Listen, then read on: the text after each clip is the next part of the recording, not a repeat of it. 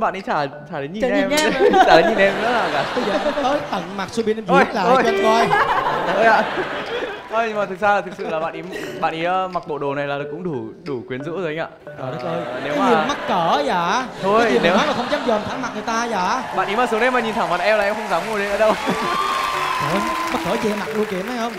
Cảm ơn Subin Decuma, bộ sản phẩm dành riêng cho da mụn.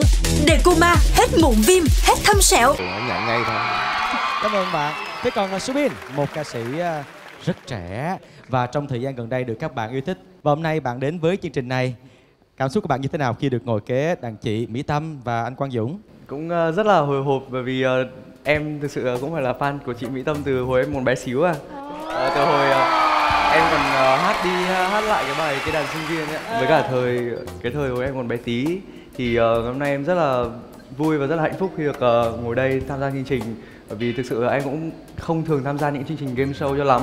Và ờ, đến với cover star với phiên bản hoàn hảo này thì hy vọng rằng ờ, ờ, mọi người sẽ ờ, ờ, cổ vũ thật là nhiệt tình cho Subin, cho chị Mỹ Tâm, cho anh Quang Dũng cũng như là tất cả các bạn sẽ chuẩn bị ờ, tham gia chương trình phiên bản hoàn hảo này. anh Subin. Ờ, em thì ờ, suýt nữa thì đoán chúng. Tại vì Suýt, nhìn suýt. nhìn bộ đồ thì lúc đầu em cũng, cũng đoán là bạn không ấy tính hát ra nhìn bộ đồ là chị tưởng hát nhạc à, rock đúng không? không chị thấy tu tu tu tu tu ra chị nghĩ là rock rồi rock rồi em nghĩ rằng là cái cái sự quyến rũ của bạn ấy đã đủ đối với em chưa với chị Mỹ Tâm là mới có nhẹ bạn, thôi đó bạn ý diễn mà bạn ấy chả chả đến nhìn Chả em, nhìn em. chả đến nhìn em nữa là cả. bây giờ em tới tận mặt Subin em Ôi, viết lại cho anh coi Thôi ạ.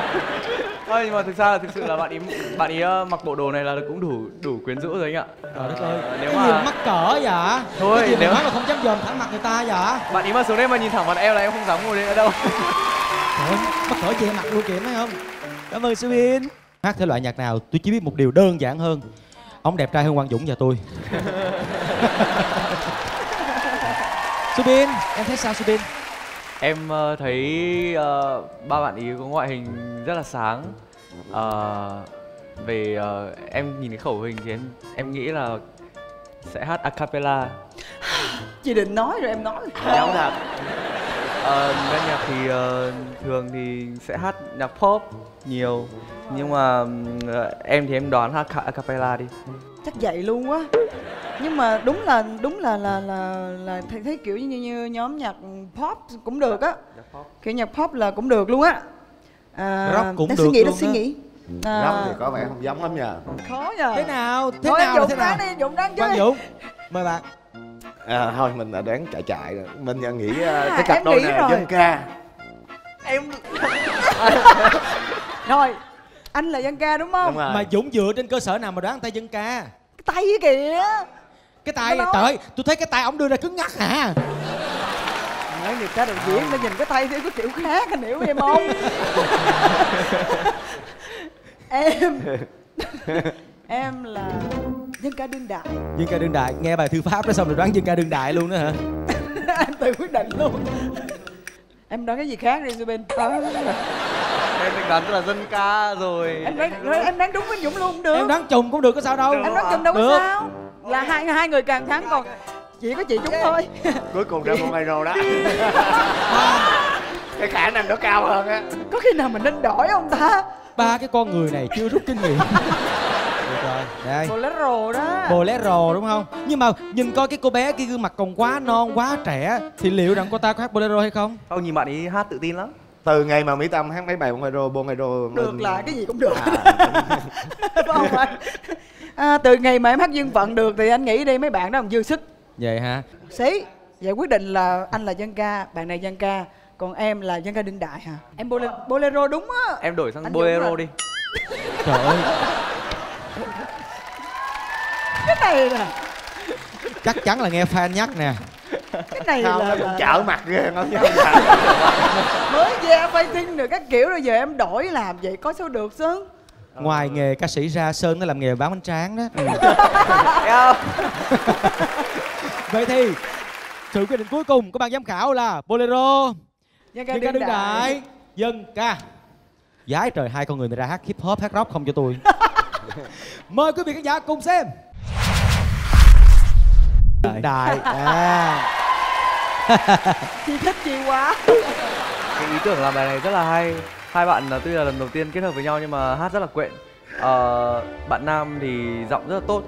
Ờ, có những cái đoạn luyến rất là cuốn hút ấy. Ờ, với cả phải ờ, phục chị Tâm tại vì chị Tâm đoán quá siêu. Không thể ờ, nghĩ là các bạn lại ờ, mắt sắp được hai cái bài nó nó nó nó nó liên quan được đến nhau như thế Nói chúc mừng hai bạn. Cảm ơn Subin thế còn uh, Quang Dũng nha. Mời Dũng. À, thật ra anh vẫn thấy tụi em hát dân ca nó hợp hơn Trời nghe không những cái đoạn mà dạ, qua cầu gió bay nó vẫn hay hơn. vẫn cố. Thật ra cái bài à, bốn chân ấm anh nghĩ là với giọng tụi em nó hơi hơi mỏng so với cái cái bài đó. Thật ra với còn anh rất là thích cái đoạn mà Yêu qua nhau cầu cởi áo cho à, nhau. yêu nhau cởi áo cho nhau. Nó nó nó vừa sức và nó rất là dễ thương nhưng mà tại em ở mặc cái áo đó rồi thấy không? Xong cái kiểu đó là phải đương đại thôi. Người đoán đúng nói nè. Dạ người đó đúng đấy. Không người đoán đúng. Cái mặt phải kiêu hãnh hơn một chút nữa. Người đó đúng nói. Phải nói là thế này chị thấy rằng là hai tụi em à, kết hợp. Chị thì lại thích giọng nữ hơn giọng bạn nam. À, một chút. À, giọng bạn nữ thì à, sáng và cũng à, cũng khá là chuẩn nên là chị thích cái cái cái um, cái cái phần nữ hơn chút xíu.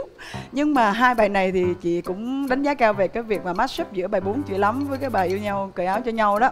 Thì chị thấy cái đó là cái sáng tạo. Và đây là cái chương trình mình làm là phiên bản hoàn hảo là một cái phiên bản sáng tạo khác với cái bản cũ. Thì chị nghĩ đây cũng là một cái version mà à, đáng nghe. Cảm ơn chị rất nhiều làm sao? Coi cái ông này ông hát dòng nhạc gì Subin anh nghĩ rằng cái bạn này trẻ trẻ giống em dễ đoán đó. em cứ trừ cái acapella ra cho chị là được. Ờ, không có một cái cơ sở gì. Như mấy bạn trước thì còn ờ, còn có thể hình dung được nhưng mà bạn này thì khó quá. khó quá. Em hãy dựa vào đôi mắt mơ màng của cậu ta ha. Thì à, liệu rằng với cái đôi mắt ấy cậu ta sẽ hát được dòng nhạc gì? Cảm ơn anh em đoán ra được rồi. Em nghĩ là bạn ấy hát dòng nhạc ừm, dòng nhạc đỏ. À. Nhạc cách mạng lý. đúng không? Dòng nhạc Dạ. truyền thống cách mạng. Nhạc cách mạng. Thế còn mỹ tâm? Em. Em đoán là bolero. Dựa vào gì nào? Tại vì em ờ, làm phương án loại trừ đó anh. À acapella là không rồi đó có người sao acapella được đúng không? có người mà làm cái bản mà để acapella nó vô lý rồi không? Đúng rồi. À, kiểu mà kiểu nhạc pop dance hay là kiểu là thì em nghĩ Nãy giờ diễn rồi. không luôn. Rồi có rồi. Rồi đương đại là càng không nữa. À, thiếu bolero. Cho nên em nghĩ chắc là bolero. Nhưng mà cũng có thể là hát opera. Opera đúng không? Opera đi anh? Không nhưng mà đúng không rồi cái đó đó. không phải đâu.